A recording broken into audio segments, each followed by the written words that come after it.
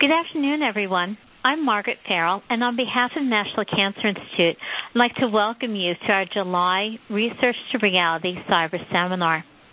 NCI launched the Research to Reality Community of Practice five years ago with the aim of bringing together researchers and practitioners in an ongoing discussion around the promise and the perils of moving evidence based cancer control programs and research into practice. And there's nothing I enjoy more about the summertime than the opportunity to dig into a good book. And I delight particularly when my children get captivated by their summer reading assignments.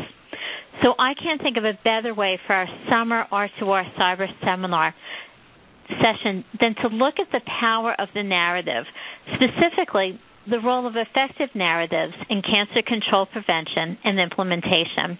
And we have two wonderful women with excellent stories to tell in this regard. Dr. Sheila Murphy will help frame our discussion by looking at how the power and perseverance of a narrative or story structure has been recognized and utilized for thousands of years. And she'll talk about her work about how a narrative can most effectively convey crucial, potentially life saving health information. And Sheila will review some of her research findings, which identify the factors that make a narrative more or less persuasive. And then to illustrate how narratives can be a powerful tool in risk communication, Dr. Stephanie Wheeler will describe her study that uses patient narratives about endocrine therapy to understand racial variation in perceptions about risk and side effects. And Stephanie will discuss how narratives can serve as motivators to initiate and track adherence to endocrine therapy in diverse patient populations. Complete biographies of both our speakers can be found on researchtoreality.cancer.gov. The final part of our session, as always, is dedicated to your questions and sharing, and we invite you to share your story with us during the question and answer time. At any time during the presentation, you can put, get in queue to ask your question live by pressing star one, and the operator will queue your call. Or if you prefer, you can also submit your questions using the Q&A feature at the top of your screen. We specifically and we warmly welcome those of you who are joining us for the first time, and we invite you to engage in the discussion today on the call and also online with the R2R community practice. We're very excited for all of you joining us here today. And so, Sheila, with all that housekeeping done, I'm delighted to turn this over to you and Stephanie. Thank you. Thank you. Um, before I begin, I'd like to acknowledge my co-investigators, particularly my co-PI, Lourdes Baez-Conde Garbanati, and my funder, NCI, who in 2009 gave us a transformative R01 to explore the use of narrative in health communication. So, to start out, I'd, I'd, like to show an example of the traditional approach to communicating vital health information in the United States. Um, and while it's painstakingly accurate, it's not particularly effective. So, what I'd like to do today is to challenge you to consider using stories or narratives. Um, but before we begin, I want to make sure we're all on the same page with regard to what constitutes a narrative. And over 2,000 years ago, Aristotle in Poetics uh, described a narrative as a story with a beginning, a middle, and an end that is understood by all. And that's really an excellent definition. Um, throughout my talk today, though, I'm going to be using Kreuter's definition of uh, a narrative as a representation of connected events and characters that has an identifiable structure, specifically a beginning, a middle, and an end, is bounded in space and time, and contains implicit or explicit messages about the topic being addressed. And the reason I use Kreuter is because he also defines non narrative, which he says is expository and didactic styles of communication that present propositions in the form of reasons and evidence supporting a claim, like the brochure I just showed you. I also want to clarify up front that the idea of using narratives or stories to transmit health information is, is not uh, new. It's actually been used primarily outside of the U.S. Um, it's sometimes referred to as entertainment education or EE or narrative or storytelling, but all of it is the intentional placement of educational content in entertainment messages, and it's essentially a strategy for disseminating information and changing attitudes, norms, and behavior. So, the theoretical backbone of entertainment education and virtually all other narrative approaches is uh, Bandura's social cognitive theory, which states that people are far more likely to mimic a behavior that they've seen being performed than one that was recommended but not shown or demonstrated. So, a really commonly used strategy in persuasive campaigns is to physically model the behavior. And this physical modeling allows individuals who are unsure how to engage in a behavior um, to benefit by showing increased self efficacy. Gee, I could do that uh, from watching others perform the desired behavior. But modeling can also in, impact, uh, very importantly, how common or normative the behavior is perceived to be and change something that we refer to as the subjective norm. And this is really important, particularly for continued behavior change, because you want people to have the perception that a desired behavior is is more common or normative, because those are the sorts of behaviors that are that's the normative pressure that's likely to keep behavior change going. So here's an example of a storyline that, that effectively used modeling. Um, my colleagues at Annenberg's Hollywood Health and Society worked with 26, 26 different television shows on organ donations, trying to increase organ donations. And so this numbers storyline was the most effective out of all of them in having viewers actually sign up to become an organ donor because it clearly modeled how to become an organ donor, namely by going to the DMV. So I also want to point out that repetition, as long as the message is not inconsistent, repeating the message from various sources uh, can produce a stronger impact than any single narrative alone. And here's another example of the power of repetition. Um, my colleagues and I tested the impact of uh, two different uh, BRCA storylines that we knew were coming up in within the, a month of uh, of the same time. And so the first storyline appeared on ER uh, and dealt with a young Jewish woman's decision of whether or not to have a prophylactic double mastectomy based on the presence of the BRCA gene, and it included the fact that 85% of women with this gene develop breast and, and or ovarian cancer, and the importance of knowing your family's medical history. And the second storyline, which aired three weeks later on Grey's Anatomy, also featured a young woman struggling with a very similar decision. Um, and what we did is we used a, a pre-test, post-test design before people saw either storyline um, to survey three groups of women. Uh, those who viewed only, ultimately, only the ER storyline, uh, those who viewed only the Grey's Anatomy storyline, and then we also surveyed a number of viewers who just so happened to watch both of them. And what you can see here is that the understanding of genetic risk in general and the risk involved with the BRCA gene in particular uh, was greatest for the, the combined viewership here. Um, and also, as well as the increase in the intent to have a mammogram, um, also increased if you had watched both as opposed to either um, separately. So the point I'm trying to stress here is the power, potential power of message repetition as long as they're not inconsistent. So research also suggests that narratives may be uniquely qualified to overcome persuasive resistance, which is something we have to worry about with health messages, because stories tend to what we call reduce reactance. No one's going to tell me what to do, or counter arguing. I don't think that's true, or selective avoidance, just avoiding the message altogether. Um, and at the same time, it models the desired behavior. It can increase our sense of self efficacy and perceived vulnerability.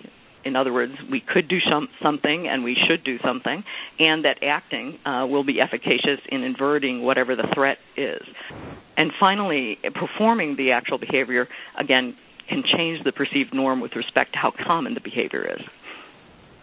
Okay, so um, you're probably wondering at this point if humans have been using stories to transmit crucial information for thousands of years, why does Western medicine all but ignore the use of narrative and instead rely on facts and figures continually, like the brochure I started with? Well, um, I asked this question years ago to Francis Collins, and he argued that from the standpoint of the government agencies like NCI, they are just being prudent. After all, he argued there had never been a large scale tightly controlled experiment or clinical trial that presented the identical information in both a narrative or story based format and the more tradi- traditional non narrative format and compared their impact on the actual target audience. But our Tiara 1 study, uh, which he funded, thank you very much, did exactly that.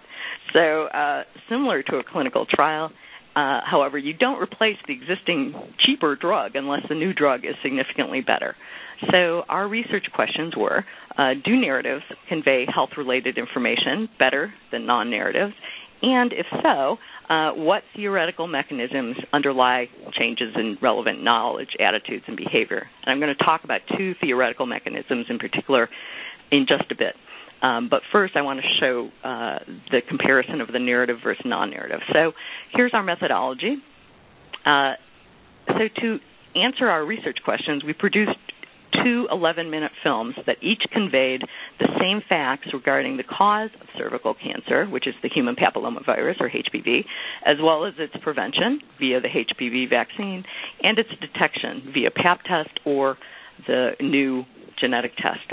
Um, now, it's really important to note here that I just happened to work on cervical cancer, and we picked cervical cancer as as the health issue to be uh, worked on with these films, but it could be any health related um, health related topic. So this this my point being is this is really generalizable all through health communication. All right. So unfortunately, at this point, I usually show clips of the um, tamale lesson and its time. But uh, due to time and technology, we're, we're going. To, we've asked you offline to take a look at those, and there are clips available on NCI's R2R website. I know some of you have already looked, but just for those of you who haven't, let me let me show you uh, just uh, some still images. Here's some still images from the non-narrative. It's time. Um, that uses a more traditional approach featuring doctors, patients, and facts and figures. And compared to the, the narrative, which is called Tamale Lesson, uh, which revolves around a family's preparations for their youngest daughter's quinceanera or 15th birthday. Um, and here you see the four main characters in, in uh, Tamale Lesson Lupita, the eldest daughter who finds out she has HPV, Connie, who is her virginal middle sister, uh, Blanca, who is their mother and who has not had a PAP in a long time, and Petra, her friend who has never had a PAP test. Okay, so here's the design of the overall study. So we first use a random digit dial procedure to randomly select and survey by phone 1,000 women uh, between the ages of 25 to 45 who live in Los Angeles County. And the first thing we wanted to do is to establish their pretest or baseline level of cervical cancer related knowledge, attitudes, and behaviors. Um, and this included 300 African American, 300 European American, and 300 Mexican American women. We then, after we got pretest data, we, we randomly assigned these same women to recite, receive either the narrative or the non-narrative film in the mail and watch it in their, at their home. Um, and so today's presentation is going to focus at three time points. At time one is at baseline or pretest. Time two is within two weeks of having viewed one of the two films. And time three is a six month follow up that allowed a sufficient amount of time to pass to track actual behavior. Did they go get a pap test? All right, so um, we predicted that compared to women who received the cancer related information in a nonfiction, non narrative format, those who received the same information in a fictional narrative format would have increased knowledge with respect to cervical cancer risk, screening, treatment, and prevention, more positive attitudes towards screening behaviors, and most importantly, increased behavior, getting a PAP test or at least making an appointment to do so. So, in this slide, what you see is, um, by the way, the striped bars are the non narrative, and the um, solid bars are the narrative. We worked really hard not to stack the deck by making a terrible uh, non narrative. And um, both of our films, just to be uh, clear, were exactly the same length. They had the same facts about cervical cancer, and they were produced by our same production team. So they had really high production quality, um, which you know if you've looked at the at the clips. So. Um, as a result, both films produced an increase in cervical cancer related knowledge at the individual level from before pre-test to after post-test. Um, but this shift was greatest with an increase of almost two more correct answers out of a possible nine facts um, that were covered equally in both films among women who saw the narrative film. So both films worked in terms of increasing knowledge, but the narrative worked tended to work a little better, particularly for the Mexican American and the African American women. Okay, but what about actual behavior? Okay, so looking at this, this is pre-test data. These these uh, gray bars represent the percentage of women in our sample who actually had a pap test within the past six months, and that meant they weren't due for a pap test during the time of our study. Um, so if you look at this distribution, what you see is that uh, significantly more European Americans, before they saw either film, were likely to have had a pap test in the last six months, uh, compared to the uh, so almost half of our European Americans had a pap test within the last six months, compared to only 37% of our African Americans and 32% of our Mexican Americans overall. And this suggests that an ethnic diversity exists in screening at pretest, and, and this is not unlike the ethnic diversity that actually does exist in the real population. These numbers are very similar to LA County numbers. Um, but the blue bars here show what happened six months out after our um, women saw one of our two films. And in each case, the light blue segment of each bar shows the percent who had been screened within our six month window after seeing one of the two films. And the dark blue caps are people who had made an appointment but hadn't yet gotten in for their appointment. So, again, both films increased screening, but the narrative was more effective than the non narrative in doing so. And what I really find exciting about this result is that the ethnic disparity in screening that we saw at pretest is erased uh, at six months for the Mexican American and African American women. In fact, the Mexican American women in our sample went from having the lowest screening rate of overall 32% to the highest screening rate overall 82%. So, um, okay, so we're not suggesting that it's ethnicity per se that predicts um, these effects, but in fact, uh, the extent to which women identify with or become with the characters or become immersed in the story that matters. So, um, because we had deliberately featured primarily Hispanic characters in both films, um, we expected that the Mexican American women in our sample would be more transported, also referred to sometimes as immersed, absorbed, engaged, or involved in the story, and that they would identify more strongly with the primary characters that I described. So, from this point on in my talk, I'm going to focus only on those women who saw the narrative film to try to figure out, uh, tease out why why the narrative worked better for some women than others. Okay. All right, and so one of the one of the key factors is has to do with something called transportation. Um, one of the main advantages of using an entertainment education strategy over a traditional public health campaign that employs public service announcements or clinic brochures is that the use of narratives um, can lead viewers to become what we call transported, to use Green's term, into the narrative world where you suspend disbelief and you uh, don't counterargue. So we measured the extent to which Green and Brock's construct of transportation or involvement with the narrative more generally influenced viewers' knowledge, attitudes, and behaviors. So what did we find? We found that those who reported being most engrossed or transported by Tamale Lesson showed the greatest shift in cervical cancer knowledge, attitudes, and behavior. Okay. And who is most likely to be transported or engaged by Tamale Lesson? Again, it's the Mexican Americans, which we predicted, but something that we didn't predict but later figured out what was going on, which is the African American sample also um, really liked uh, the Tamale Lesson, and, and to the extent they were transported, they ended up um, actually engaging in the behavior that we were interested in. Okay? Um, the second factor that really mattered was the level to which women identified with the characters, um, particularly the positive role model of Lupita. So, um, as I mentioned earlier, modeling of behavior uh, allows for vicarious learning and really plays a pivotal role in behavior change, but not all models are equally effective. We pay more attention to, and we learn more from models with whom we identify, uh, like, feel as if we know, or perceive to be similar to us. And typically, when you're when you're with unknown people or unknown characters, we tend to rely heavily on readily available physical cues to see if somebody's like us or whether we're going to like them, um, such as gender, age, and ethnicity.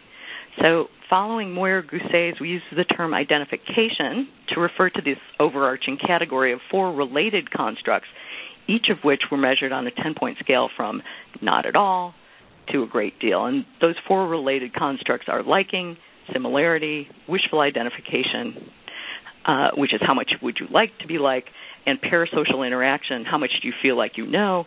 Um, and those four constructs hung together as one single factor. And what and we found that women in our study who identified with Lupita, uh, who's the eldest daughter who has HPV, showed the greatest shift in knowledge, attitude, uh, and behavior and again, who tended to identify more strongly with Lupita. As you see here, that's the the three bars on the left-hand side of your screen. Um, that again tended to be the uh, Mexican Americans in our sample and the African Americans in our sample. And you can see here that um, identification is really stronger also for Connie. Um, and interestingly, uh, Petra, who was supposed to be the mother's friend, who was supposed to be a transitional character going from being a negative role model to a positive role model, um, identifying with Petra turned out not to be a good thing. You started out with low knowledge and you ended up with low knowledge. Okay. All right, so what can we conclude? Well, we can conclude that narratives can be a valuable tool in health communication.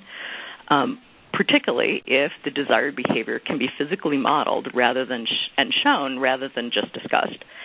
And if audience members become immersed in or transported into the narrative, uh, and this may require the help of professional screenwriters and filmmakers.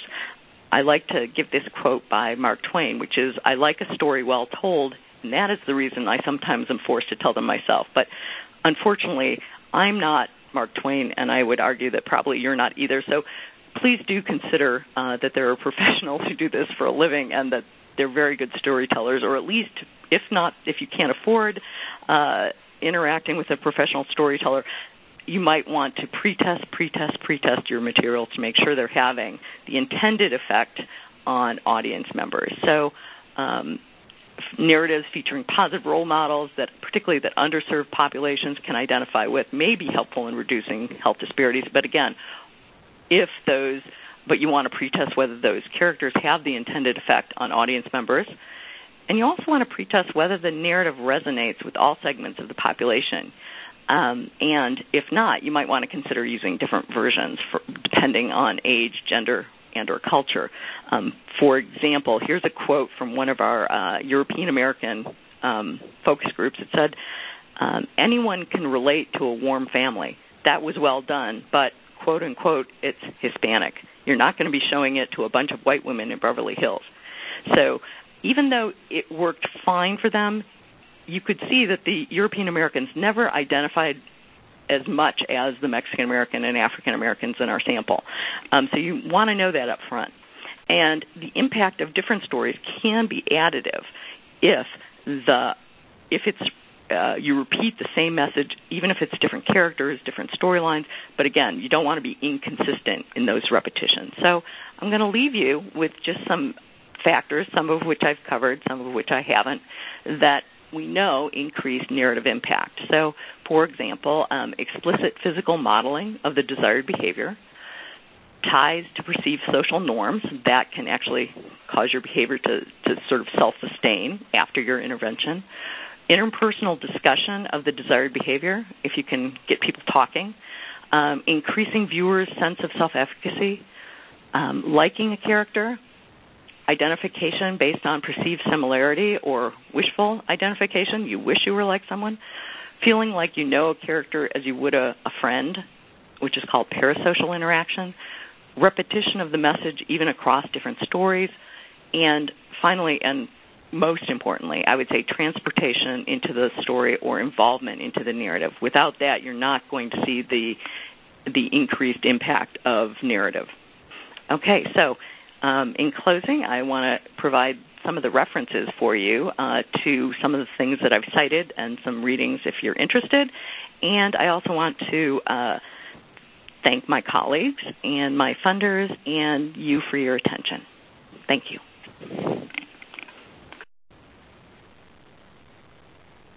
So now um, I'm going to lead right into Stephanie's talk, and she's going to follow up, and then we'll have take time for questions at the end. Okay, Stephanie. Thank you so much, Sheila. So I'm really pleased to be here with you all today to tell you about my research, which is focused on endocrine therapy decision making in breast cancer patients. So just to briefly orient you to my talk today, I'll give a bit of background information about what uh, hormone receptor positive uh, breast cancer is, share with you briefly some of the methods that we engaged in for our in-depth interviews, as well as the stories and the results that came through that process. And then I want to talk about Get Set, which is a motivational interviewing intervention that we're developing currently to optimize endocrine therapy use. So by way of background, um, hormone receptor positive breast cancer is comprised of both estrogen and progesterone receptor positive tumors. And these account for 70% of new breast cancer diagnoses, but proportionately fewer breast cancer specific deaths. And part of the reason for that is because people with hormone receptor breast cancer are actually eligible to take oral endocrine therapy. And this is a really important medication um, for them in terms of reducing the risk of recurrence and also is considerably less toxic than, for example, chemotherapy. So the way that endocrine therapy works is there's two different classes of medication. One is estrogen blockers, which prevent estrogen from binding to cancer, cancer cell receptors. The most commonly uh, heard of drug here is tamoxifen. And then the second group is estrogen reducing drugs, which are also called aromatase inhibitors. And these reduce the amount of estrogen that's made in a woman's body. And these include uh, letrozole, anastrozole, and exemestane. Typically, endocrine therapy begins after primary breast cancer treatment has completed. So for the majority of women, this would include surgery, of course, and then for others, um, perhaps radiation and or chemotherapy. And endocrine therapy is known after five years to reduce the risk of recurrence by up to 40% and mortality by a third. And actually, new data are emerging that suggest that the benefits of endocrine therapy are much greater if continued for 10 years. And as a result of that, the American Society for Clinical Oncology actually recommends continuing endocrine therapy for 10 years to receive the full benefit. Unfortunately, uh, this drug is not well utilized in the population. Uh, medication adherence is fairly low, and initiation is actually quite low as well. So some data that, that we put out a couple of years ago in the Medicaid population showed that up to 50% of women who are insured by Medicaid actually never start endocrine therapy. And in commercially insured and Medicare insured populations, it's also low, although quite not quite as low as it is in the Medicaid population. And within the women uh, who start endocrine therapy, um, some some data that were uh, compiled in a recent systematic review by Caitlin Murphy and colleagues suggested that up to 60% of people who initiate do not take endocrine therapy as prescribed, and almost 70% in some cases have stopped the therapy altogether by five years. And so this is really a problem. Um, in addition to that, there hasn't been a lot of data that has been sufficiently powerful to look at differences in endocrine therapy use by race, although we've put out a systematic review in the past year um, beginning to look at this and have found that um, usage is actually quite mixed in terms of race and ethnicity. But we know that undertreatment of black women in particular is a consistent problem across other types of breast cancer treatment, including surgery, chemotherapy, and radiation. And importantly, if endocrine therapy use is a problem by race, then that could lead to some of the differences in survival that we see for breast cancer patients overall. But in particular, may explain some of the, the huge disadvantage that we see within this hormone receptor subtype in particular. So we know that black women with hormone receptor positive breast cancer to suffer the largest survival disadvantage among different uh, tumor subtypes. And this is really illustrated here by this graph, um, which comes from the Carolina Breast Cancer Study. In this particular study, you can see that among the luminal A, which is the subtype um, that's closely associated with hormone receptor positive disease, the hazard ratio for race, and this is comparing African American women to white women, is actually the largest and the statistically significant in terms of predicting survival. Um, and this is controlling for all of the other things that we know to affect breast cancer specific mortality, like age, date of diagnosis, and stage. And so, really, this this study um, suggests that while biology is important in determining outcomes, which you can see here, um, the greatest survival disparity seems to be concentrated within those women who have hormone receptor positive disease, suggesting that really there are non biological factors at play here, one of which may be differences in endocrine therapy use. And here's some additional data that, that our group has put out that shows that um, within commercially insured populations, the difference um, between endocrine therapy uh, initiation by race seems to be focused in people who have received chemotherapy, which perhaps suggests that African Americans in particular reach a point of treatment saturation once they finish chemotherapy. They're unwilling or unable to continue uh, with endocrine therapy as well. So, in light of these data, we were really interested in understanding from a qualitative perspective what were the reasons for non-initiation and non-adherence, particularly within African Americans, but also just more generally in the population of women who are prescribed this drug. And so really we set out to understand the decision-making process, including the more nuanced reasons for non-initiation and non-adherence. And to do this, we recruited 54 women who have hormone receptor positive disease who were prescribed endocrine therapy.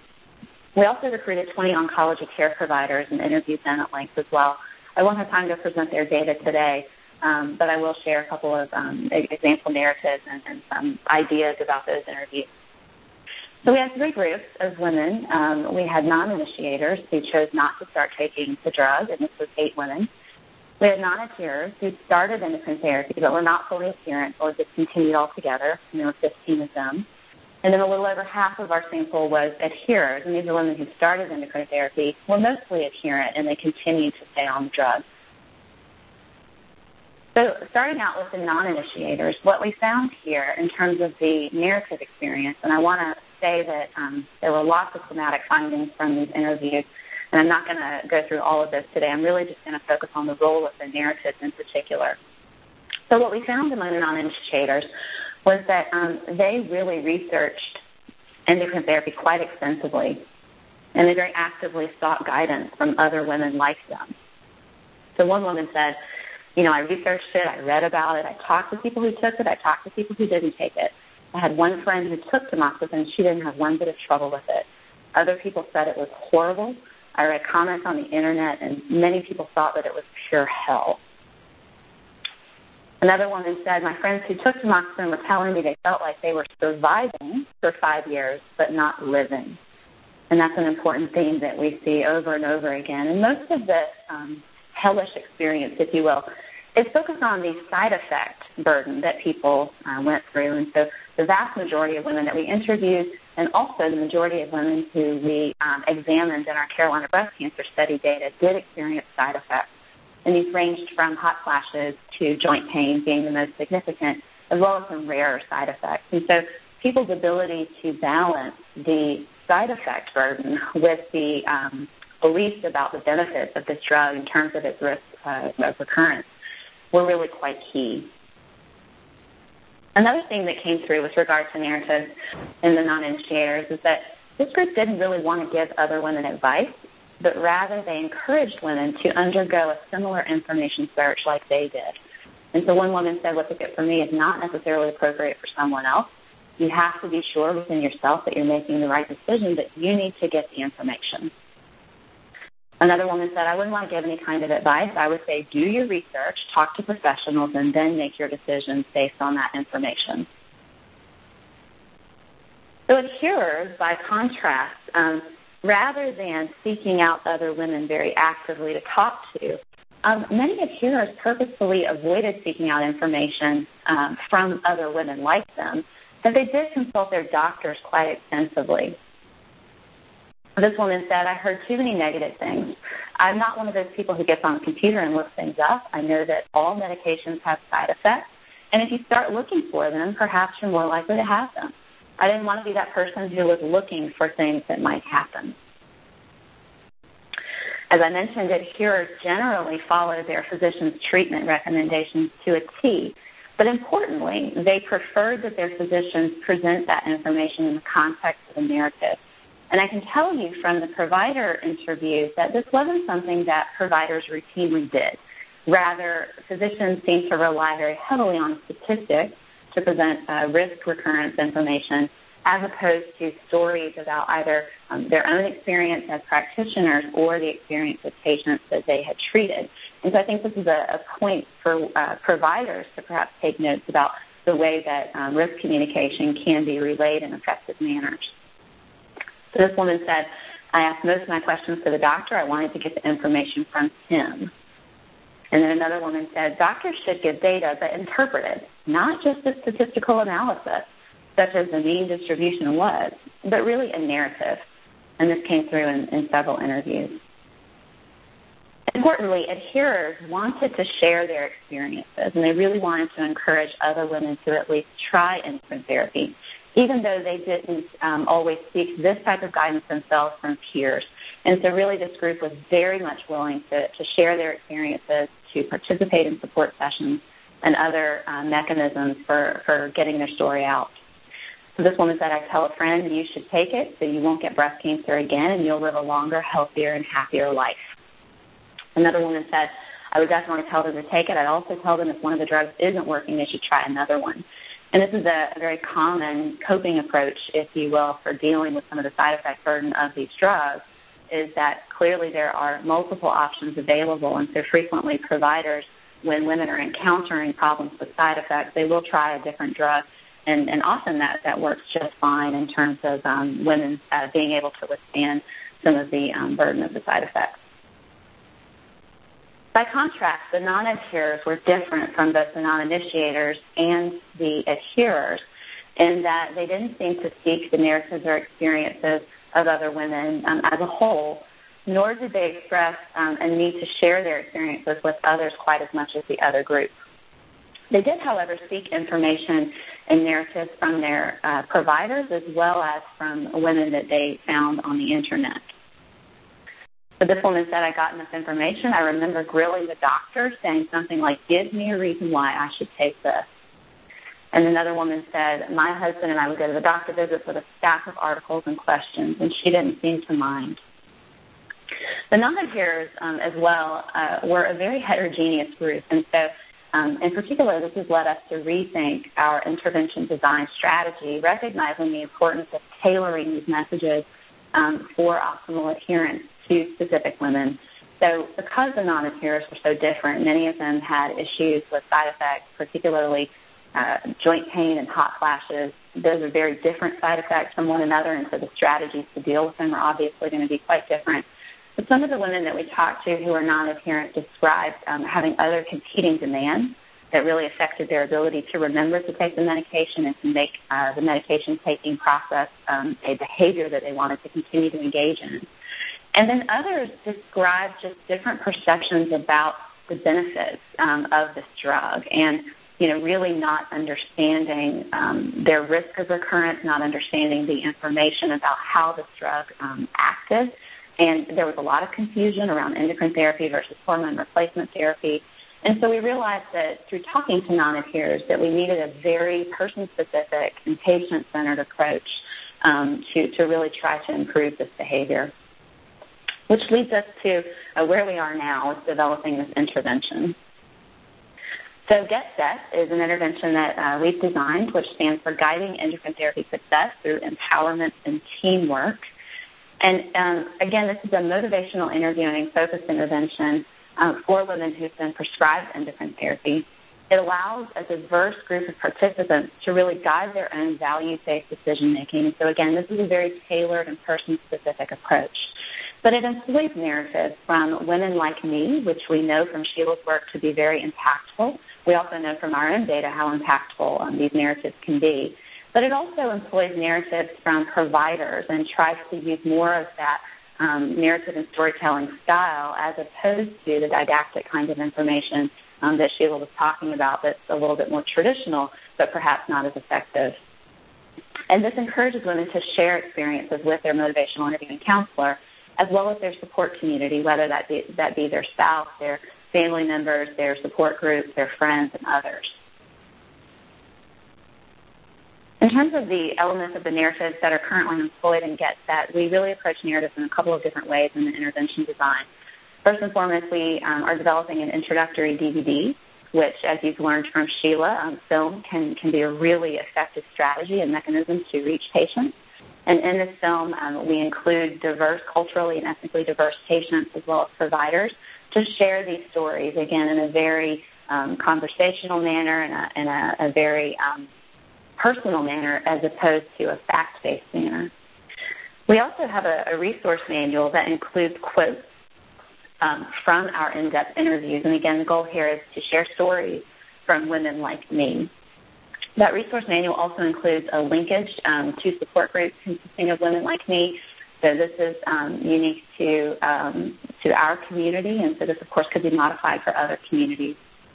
And then lastly, we're considering using um, breast cancer survivors as our MI counselors, and there's some evidence to suggest that um, the use of survivors in this way can be really effective because there's this um, identification, like Sheila talked about, in terms of relating to a person and their experience and how that might um, affect your own decision making. In terms of um, that resource guide and some of the quotes that we use, here's an example of some of um, the uh, information that we provide regarding why other women chose endocrine therapy. And these quotes range from um, understanding the biology behind how the drug works and a woman describing how she interprets that um, information, as well as the trade-off that, again, women are making, this risk-reward um, trade-off that women are thinking about as they're making those decisions.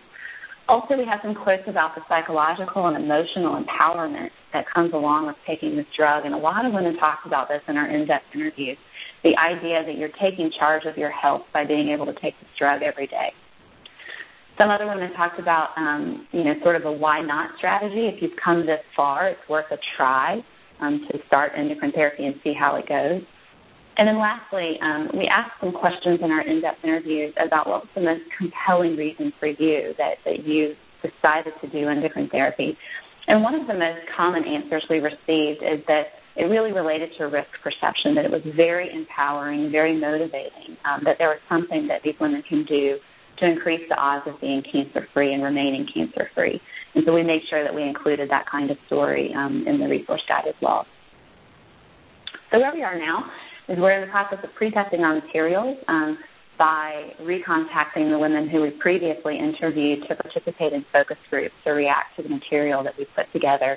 And in particular, um, you know, we're looking for things like identification. Are the characters that we're employing relatable?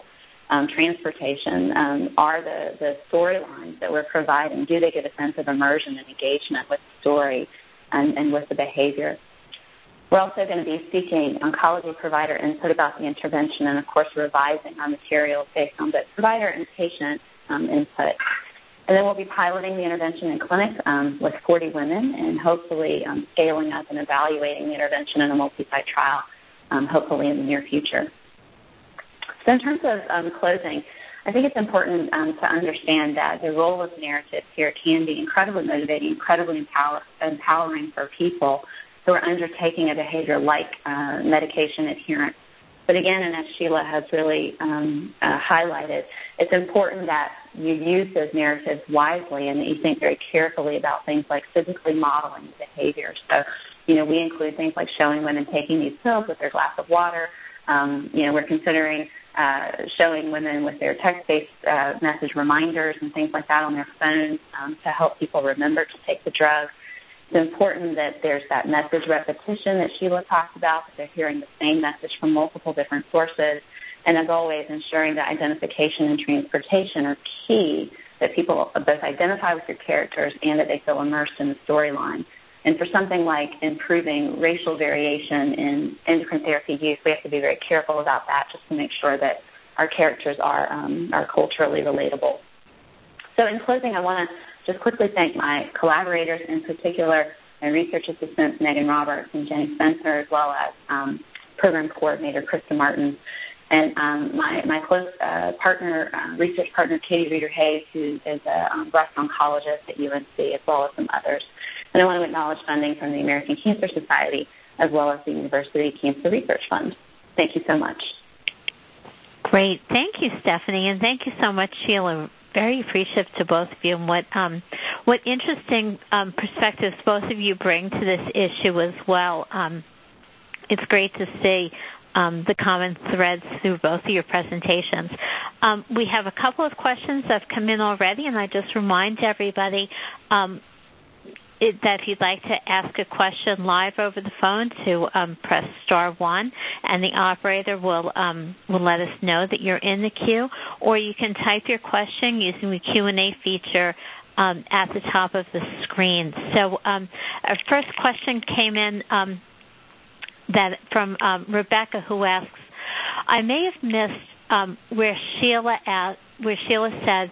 Why African American women also strongly identified with the narrative video. And she, can she repeat why that was?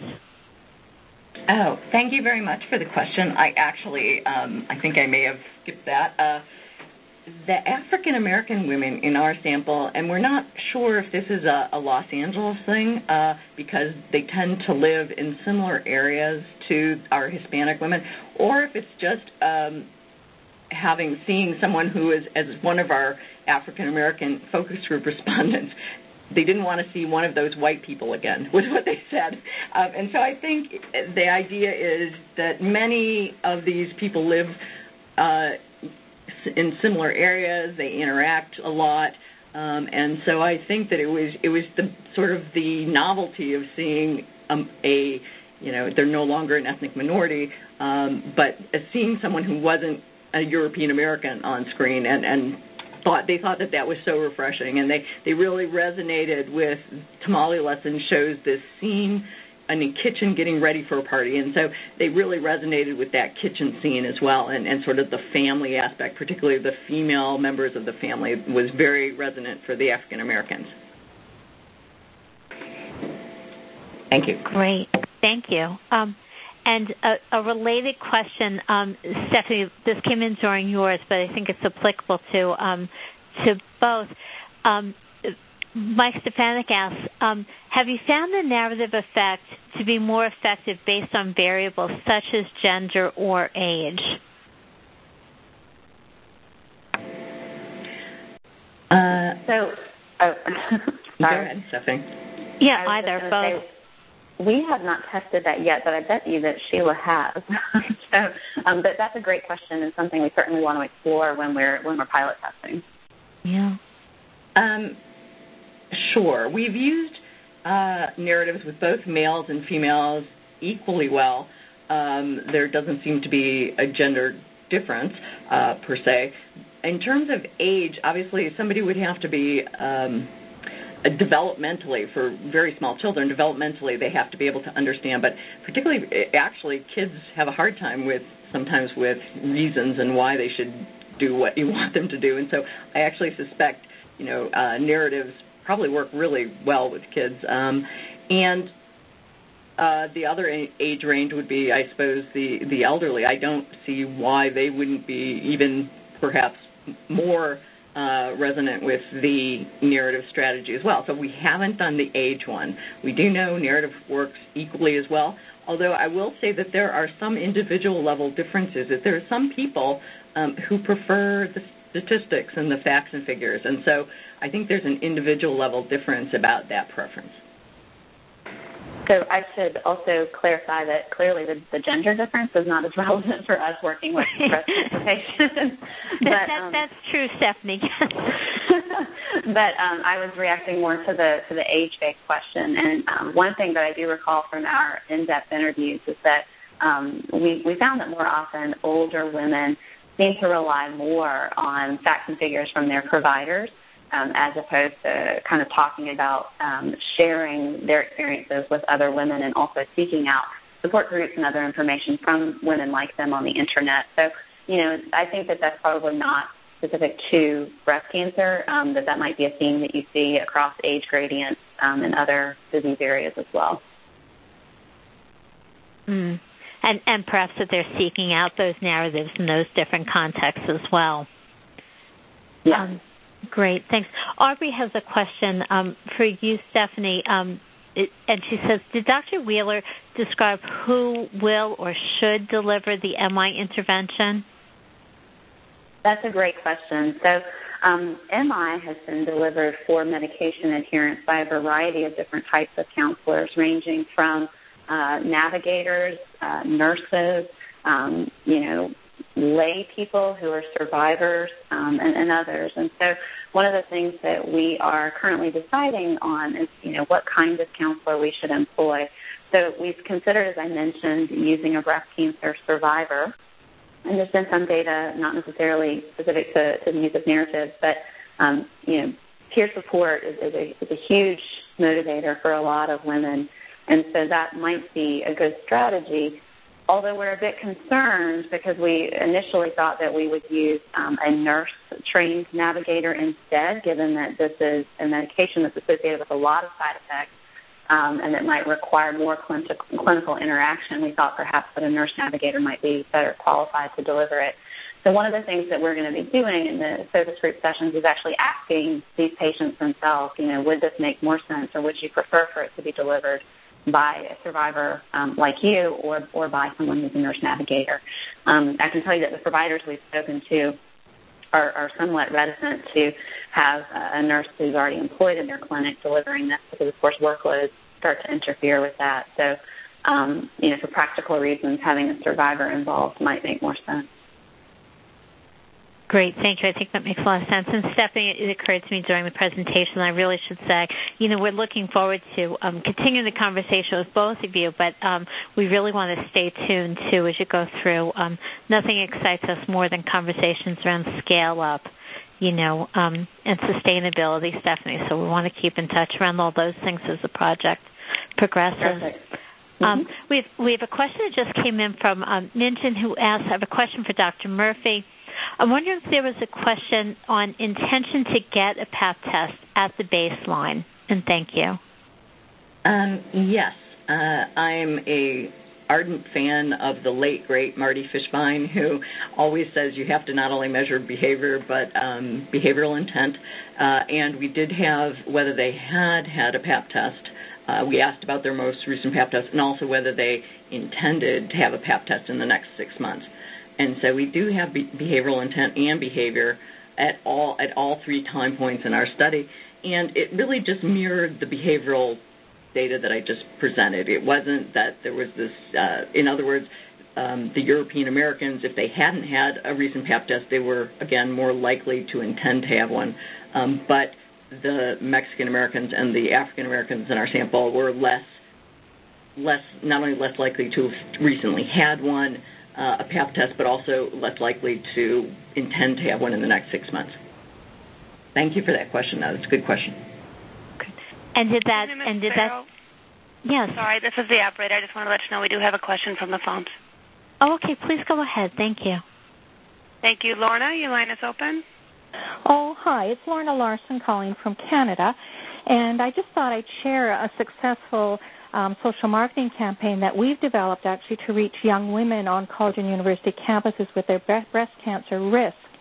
And we've been um, initiating this since 2008 and evaluating both pre and post. And part of it is traditional uh, strategies, and we are also using storytelling too around um, uh, my daughter, actually, Shanna, who lost her life to breast cancer at the age of 24 and it's her face that certainly gets the attention of the young women on campus and her story that has resonated with them across all cultures and ethnic backgrounds. So uh, we've been getting consistent uh, uh, uh, consistent results to our evaluations, and certainly it seems to be making a, a significant difference in their knowledge level and their understanding of their risk and taking action and intent to take action. So it's been been very positive all around. Oh, great, Lorna! Thank you so much for the call and for sharing your story. And I will um, follow up with you because we'd really like to capture this as part of the um, discussion as well. And what do you find to be the most um, uh, what has made the, the most difference? You feel that it's um, the relatability of um, your daughter to other young women? Oh, for sure. And I think actually, as Sheila was mentioning, it's two things. One, they can immerse themselves in the story, um, but also they can identify with Shanna, and they will say to me, "Oh my goodness, you know, this could be me. This could be my best friend," and uh, so that has been certainly very positive as well. And just I'll just throw it out there. Our organization is Team Shan, uh, Breast Cancer Awareness for Young Women, and uh, we can you can check out our evaluation reports on the website under publications, and it's teamshan.ca.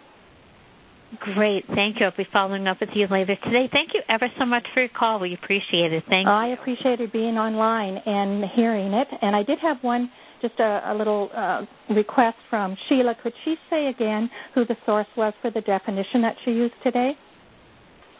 Oh, uh, certainly. Um, Kreuter, and it's actually um, it's listed on the, that slide. It's Kreuter and his colleagues. Um, does some great work with narrative with African American women.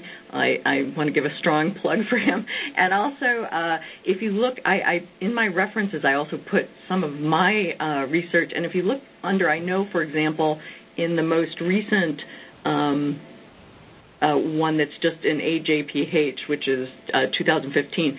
I cite him. So if you if you want his definition, the specific citation will be in that uh, in my article. That's um, the second one down there, which is uh, the second one on this list of references.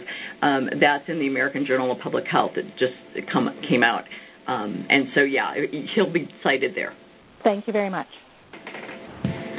Great, thank you. And I realize we're getting um, to the top of the hour. So what um, what I'll do is I'll, I'll thank our um, our speakers and, and, invite. I know we have some questions pending, and we'll move the um, the conversation over to um, research to reality. Um,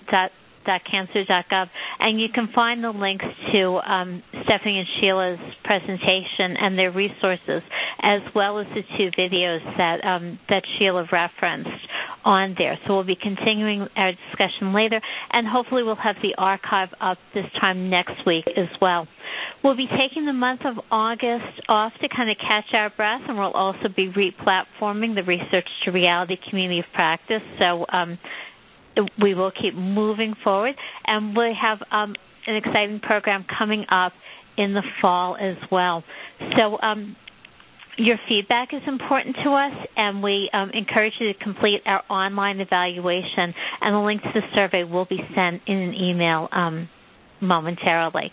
So, um, finally, we'd like to um, thank our speakers again. I think Sheila and Stephanie did a masterful job um, on reaching so many important topics today, and we're very appreciative of their time, both in preparation as well as in the presentation. And we look forward to um, inviting you to engage with Stephanie and Sheila on Research to Reality and, um, and engaging with each other on that platform as well.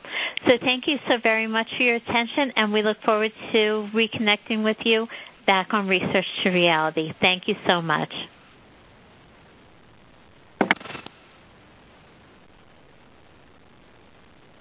That concludes today's conference call. You may disconnect at this time.